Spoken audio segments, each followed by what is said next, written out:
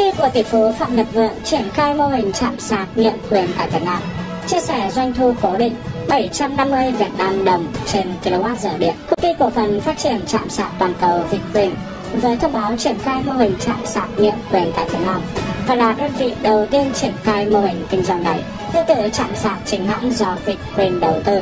Chạm trang nhượng quyền Vigreen sẽ phục vụ các chủ sở hữu ô tô điện và xe máy điện VinFast trên toàn quốc. Vigreen cam kết sẽ chia sẻ doanh thu ở mức cố định 750 Việt Nam đồng cho mỗi 1 kWh điện sạc cho các đối tác trong vòng tối thiểu là 10 năm. Vigreen còn hỗ trợ toàn bộ công nghệ quản lý vận hành, quản lý thu trì, bảo trì bảo dưỡng cho khách hàng đến trạm sạc trong suốt quá trình triển cải tạo. Hiện nay, Vigreen là công ty đang sở hữu mạng lưới trạm sạc dành cho ô tô và xe máy điện lớn nhất tại Việt Nam với kế hoạch 150.000 cổng sạc tại tất cả 63 tỉnh thành trên cả nước. Trong đó, ông Vượng sở hữu 90% cổ phần.